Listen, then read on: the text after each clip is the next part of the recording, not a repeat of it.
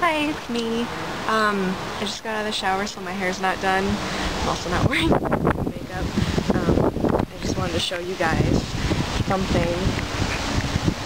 You guys remember Baby Cat? Well, meet Super Baby Cat. I know, it's really windy today.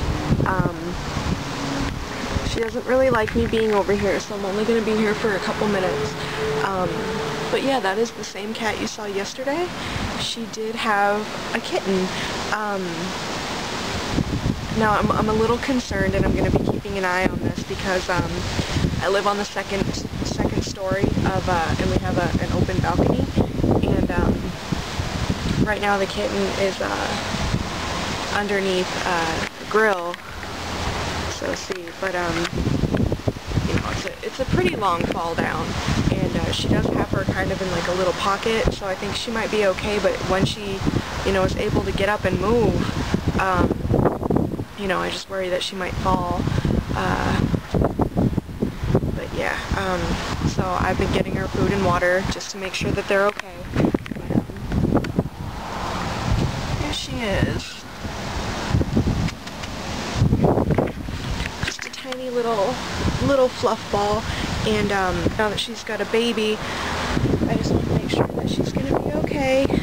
So, well for now, once I do my hair and makeup and not look so gross and break things, um, I'll probably say more. But, um, yeah. Here she is.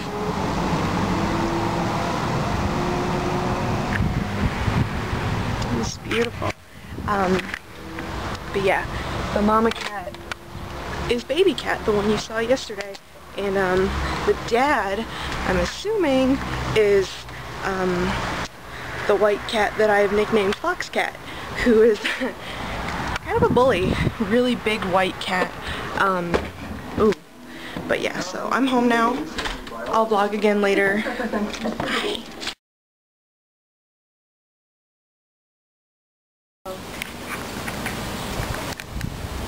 Is our new little friend. So tiny. It's the only one. It's the only one in there. She might have lost the others because she's still just a baby herself, but yep, that's her new little one. Very tiny and sweet.